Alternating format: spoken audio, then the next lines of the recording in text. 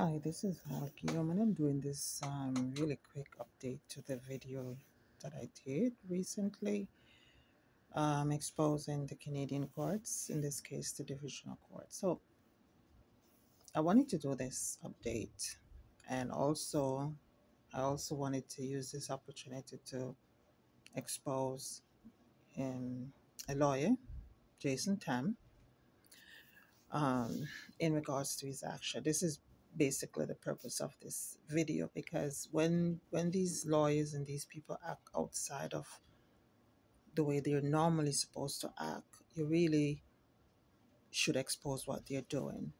So this is the purpose of this video as well. So I wanted to give an update since the last time I um, let the public know what was happening in, in the Canadian courts in regards to myself. So since the last time I made the video exposing the divisional court, um, and basically what it did was deny my appeal from the board, the ACRB, the Animal Review, Animal Care Review Board, in regards to an order that they made on August 4th against me, and um, that I took that appeal to the divisional court, which divisional court is mandated to hear appeals and judicial reviews from boards and tribunals. But it, in, in this case, the judge, um, Justice Wendy Matheson, denied my appeal in the divisional court from the board, claimed that I did not have a right to appeal. And I went into the reasons I believe that she did that, um, which was to try to prevent me from really winning my case, okay, and to, as the owner of those animals, to be able to keep my animals and things. That was really the reason why they did that, okay, because the divisional court hears appeals all the time from boards and tribunals.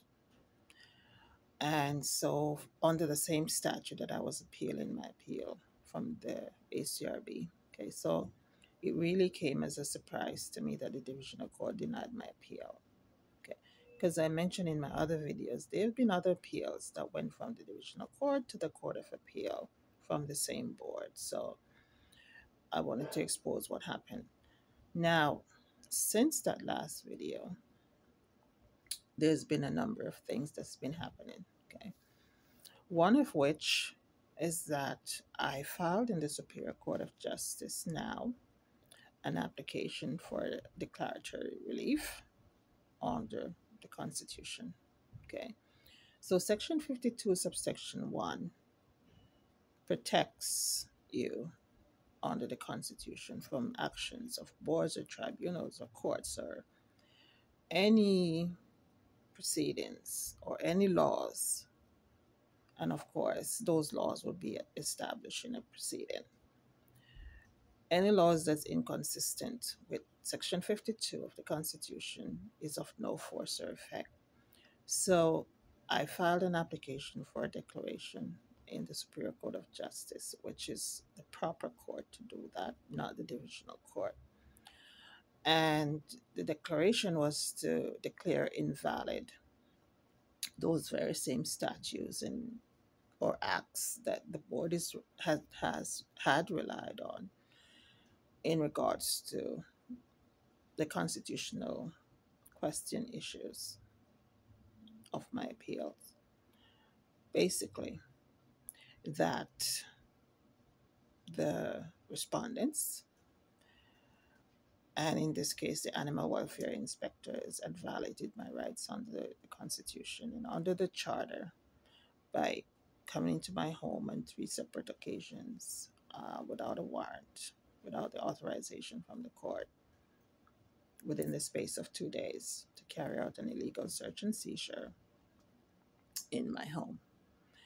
And so that violated my rights under Section 7 of the Charter, the right to the security of my person, and it also violated my rights under Section 8 of the Charter, the right against an illegal search and seizure. So, what has happened in the meantime is that the Divisional Court judge now, Justice Wendy Matheson, allowed me now to file a judicial review application in the divisional court and also a motion of, for a stay of the order that was made from the board. And she extended the time for filing that by two weeks.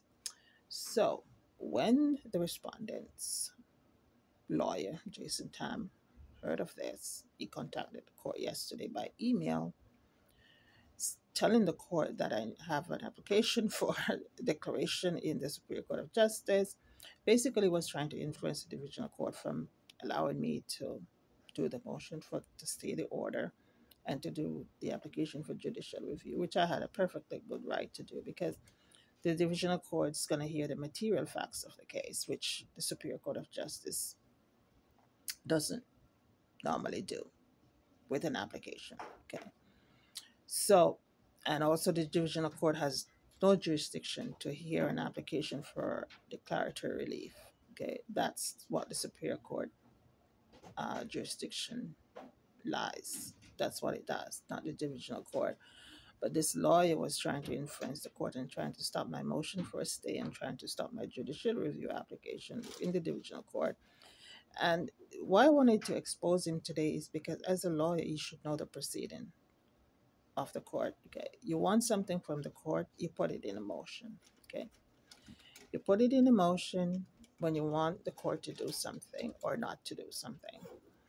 Okay. He didn't do that. He tried to go through the back door and he tried to influence the court by sending the email. So I contacted the court in response to his email and I and I just you know, this lawyer is trying to influence the the decision that the court would make in regards to my motion for a stay and in regards to my application for a judicial review. Okay, that's why it does. And another lawyer prior to him involved with the same case, my case, Douglas Lee, did the same thing. Contacted the court to try to influence the court in regards to, to the decision that it would make in regards to my case. And so Jason Tam did the same thing yesterday on behalf of his client.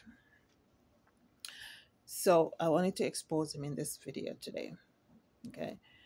Uh, he wasn't happy that I now is able to file a judicial review application in the divisional court and the motion for the stay. So he tried to circumvent that by sending the email to the court and say, look, she already have this application for a declaration in the Superior and he even send a copy of the application to the divisional court, you know, via the email. Not like there was a hearing of a motion and he wants to, pre- you know, pre- present evidence and something. Just send it as an attachment to his email um, in regards to my application in the Superior Court of Justice for a declaration to render invalid the statutes and the acts, the PAWS Act and the SPPA that the board relies on in regards to my matters before the board. And I filed that application because it was inconsistent with Section 52 of the Constitution.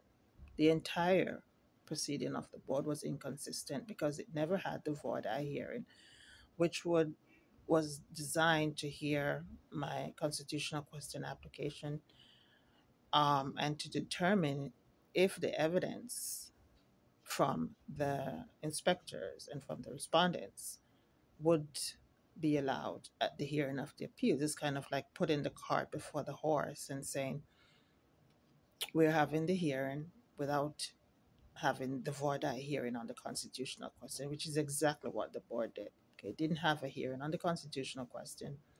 My application before the board went ahead with the hearing of the three appeals and make a decision in regards to that, um, which it shouldn't have done.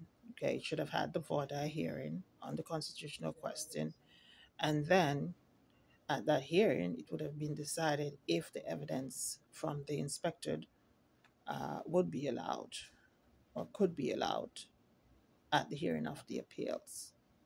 And it shouldn't have been allowed, okay, if there was a hearing because of how the evidence was obtained. by the inspectors not having a warrant when they obtained that evidence in my home. Three times, not once, not twice, three times within the space of two days without a warrant, okay, without the authorization from a court.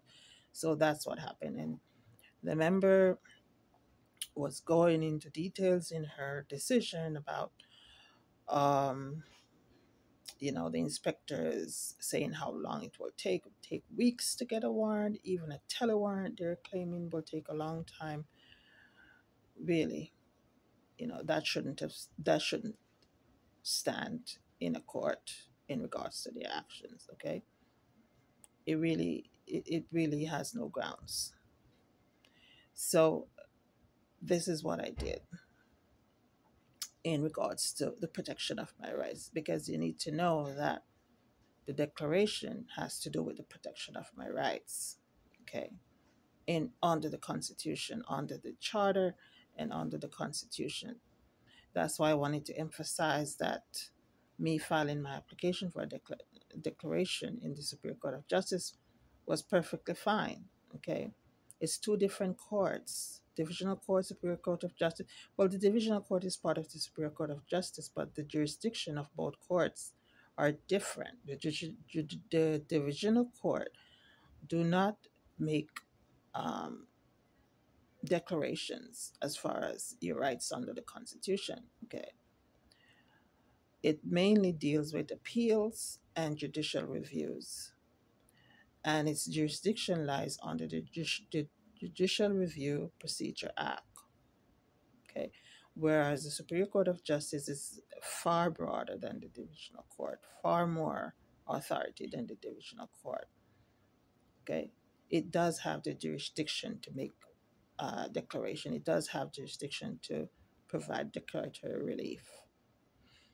Okay, and so this lawyer now letting the Divisional Court know that I filed the application in the Superior Court of Justice for a declaration, and now I am filing a judicial review application with the Divisional Court.